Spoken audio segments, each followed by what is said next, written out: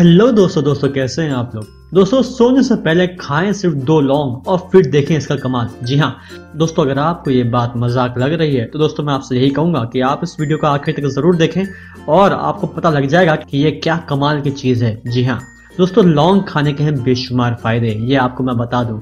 दोस्तों, हमारे किचन में ऐसे कई मसाले हैं जिनका प्रयोग हम अपनी हेल्थ की परेशानी, चाहे कैसे भी हो, उसे ठीक करने का इस्तेमाल कर सकते हैं। हल्दी इसका एक बहुत बड़ा एग्ज़ाम्पल है, उदाहरण है, जिसकी वजह से आपको बहुत फ़ायदा होता है। इसके अंदर एंटीसेप्टिक गुण मौजूद होते हैं, जो आपके घाव भरने, ठीक करने और सुंदरता पाने के लिए बहुत इस्तेमाल किया जाता है।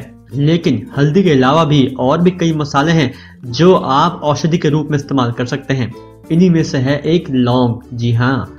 दोस्तों, अगर आप रात में लौंग खाते हैं तो इसके बेशुमार फ़ायदे हैं। जी हाँ। दोस्तों, लौंग में यूजेनॉल होता है जो साइनस और दांत दर्द जैसे जितनी भी संबंधित बीमारी होती हैं, इनमें काफ़ी हेल्पफुल साबित होता है। लौंग की तासीर दोस्तों थोड़ी गर्म होती है, इसलिए दोस्तों सर्दी में बहुत लाभदायक होता है।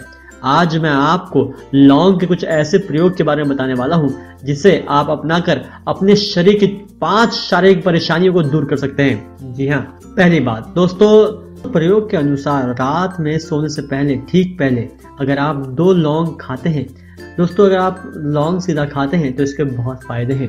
एक्सपर्ट्स की माने तो दोस्तों, ये आपको सबसे पहला काम करता है पेट दर्द में सुधार। जी हाँ।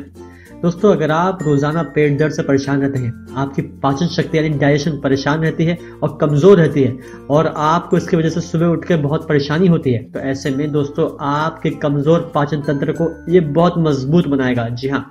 आपको रोज़ाना रात को सोने से पहले गुनगुने पानी के साथ दो लौंग निकल कर या फिर चबा चबा कर या फिर चबा चबा कर अच्छे से खाना है और और इसके ऊपर आपको हल्का गुनगुना पानी पीना है। कुछ दिन ऐसा करने से पेट दर्द की जितनी भी परेशानी है, वो सब दूर हो जाएँगी। सिर दर्द, जी हाँ। दोस्तों, पेट दर्द के अलावा अगर आपको सिर दर्द की परेशानी रहती है और बिल्कुल भी ठीक नहीं होता और इसके लिए आपने बहुत सी दवाइयाँ खा ली हैं तो दोस्तों, ऐसे में आप लौंग का इस्तेमाल कीजिए, जी हाँ। जब भी आपके सर में दर्द हो तो पेन किलर की जगह आप दो लौंग को गुनगुने पानी के साथ ले लीजिए। कुछ ही देर में आराम मिल जाएगा। सबसे अच्छी बात यह है कि लॉन्ग जो पेन किलर होते हैं, उनकी तरह इसका कोई साइड इफ़ेक्ट नहीं होता है और ये बिल्कुल नेचुरल है। दोस्तों, गले में खराश, खांसी, जुकाम। जी हाँ।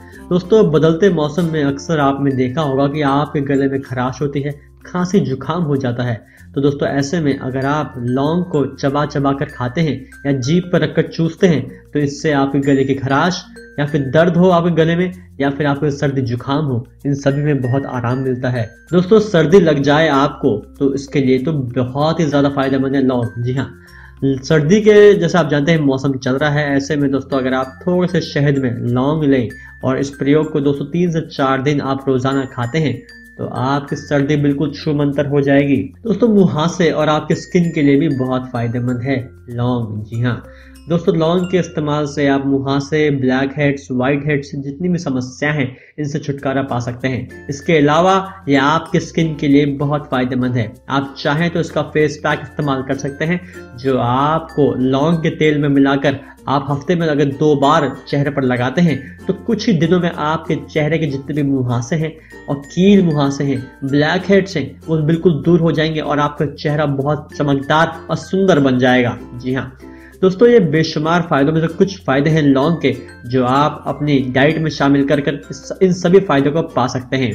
दोस्तों, मैं उम्मीद करता हूँ आप आज से ही लौंग का इस्तेमाल करेंगे और इस सारे फायदों का आप भरपूर मज़ा उठाएँगे। दोस्तों, आपको वीडियो अच्छी लगी हो तो प्लीज़ इसे लाइक कीजिए। अपने दोस्तों के बीच में शेयर कीजिए ताकि उनको भी इसका फ़ायदा मिल सके।